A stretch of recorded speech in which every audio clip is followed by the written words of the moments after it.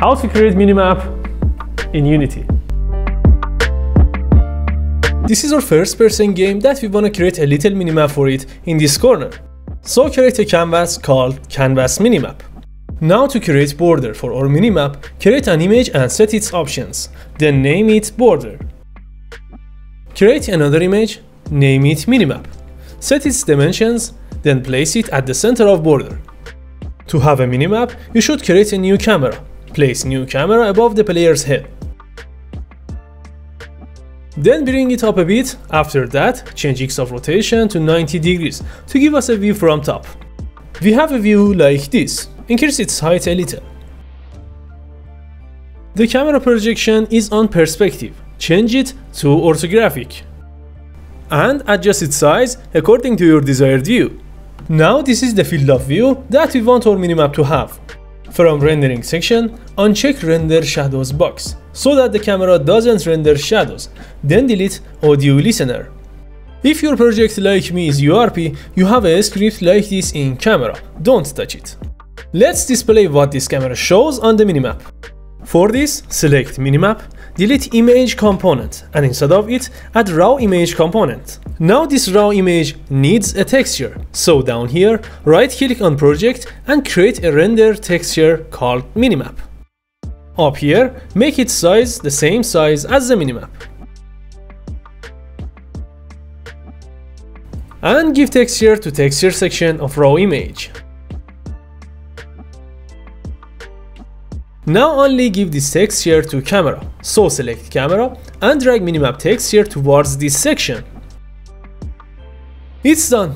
Minimap displays this corner. Sometimes there are things that we don't want to render them in the minimap. For example, this house image. So select it and from this section specify a new layer. You can define a new layer by clicking on add layer, which I choose top BTN layer for it. Now select minimap camera and from culling mask section, uncheck defined layer, I mean top BTN. Now look, any object that has this layer doesn't display in minimap camera. Let's go to next step. Player displaying in minimap is not very clear and we should specify an image for it. Right click on player and create a new canvas and name it canvas mark. Then set render mode on world space and give minimap camera to this section. And create an image in child of canvas mark. Now miniaturize image and canvas till its size becomes almost like player's size.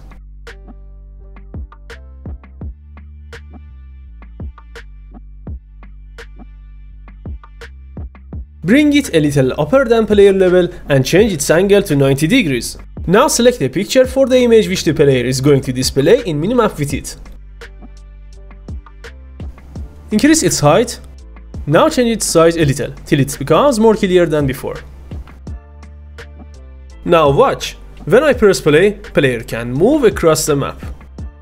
So now make camera player's child, then make its X and Z of position 0.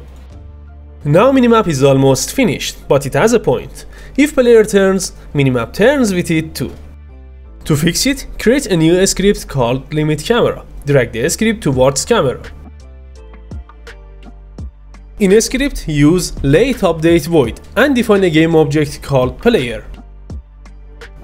With this script, we equal camera position to x and z of player position and instead of y, write 40.